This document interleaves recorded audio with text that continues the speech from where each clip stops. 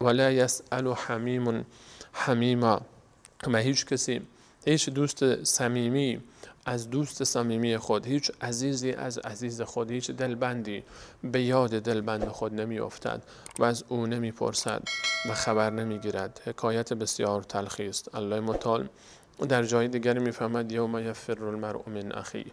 آن روزی که انسان از برادر خودش میگریزد و امیهی و ابیه و از پدر خود میگریزد و از مادر خود میگریزد و از پدر خود و صاحبته و بنی و از همچنین همسر خود عزیزترین همراه زندگی خود و قطعه وجود خود فرزند خود میگریزد. لکل امرئ منهم یوم اذن شأن یغنی. آن روز برای هر انسانی. چنان مشغله های زیادی است که او رو از دیگران بینیاز کرده است و به اونها مشغول است. یبصرونهم.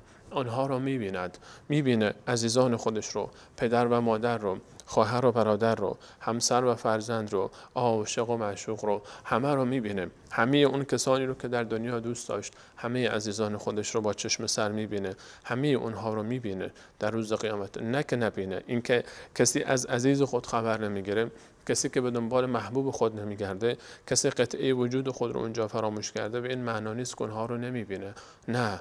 اونها رو می‌بینه. یا بسرونهم به اونها نشان داده می شود ببین همسرت اونجاست. ببین فرزندت اینجاست. ببین پدر و مادرت رو. خواهر و برادرت رو. عزیزانت رو. عزیزترین فرد زندگی تو که این شخص بود اونجا رو به روی توست.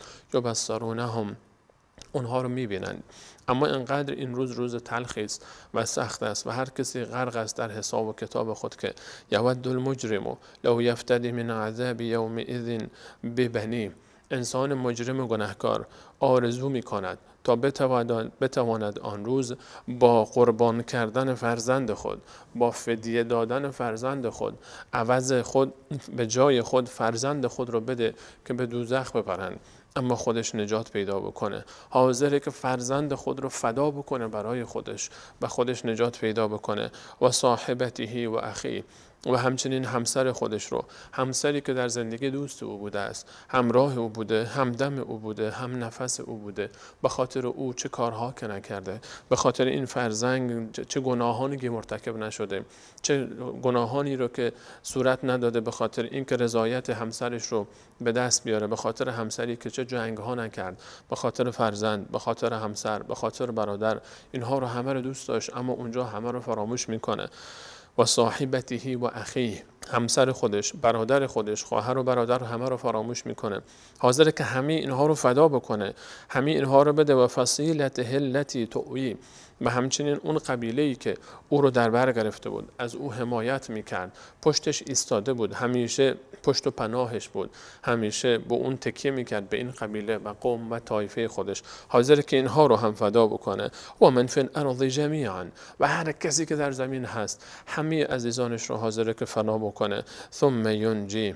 سپس نجات پیدا بکنه. همه اینها رو بده به خاطر چی؟ همه اینها رو فدا بکنه. خودش رو نجات بده. تا شاید این, این فدیه دادن این عوض دادن این جایگزینی برای خود انتخاب کردن سبب بشه تا این سبب این کار او رو نجات بده از عذاب دوزخ. اما این اتفاق نخواهد افتاد. کلا. انها لظا هرگز این اتفاق نخواهد افتاد. آتش دوزخ فدیه قبول نمی‌کنه. ببینیم که وضعیت چقدر سخت میشه. چگونه میشه انسان تصور بکنه که فرزند خودش رو به جای خود به دوزخ بیاندازه؟ حاضر بشه فرزند انسان به دوزخ بره اما خودش نره. همسر انسان و خواهر و برادر انسان بره به دوزخ ولی خودش نره. قوم طایفه انسان بره به دوزخ ولی خودش نره. اینها رو به جای خود بفرسته که خودش نجات پیدا بکنه. چقدر اون روز روز سختی است. چقدر اون روز روز تلخی است. بیا تا دست برداریم از گناهانمون. بیا تا فکر آن روز باشیم. بیا تا آمادگی بگیریم.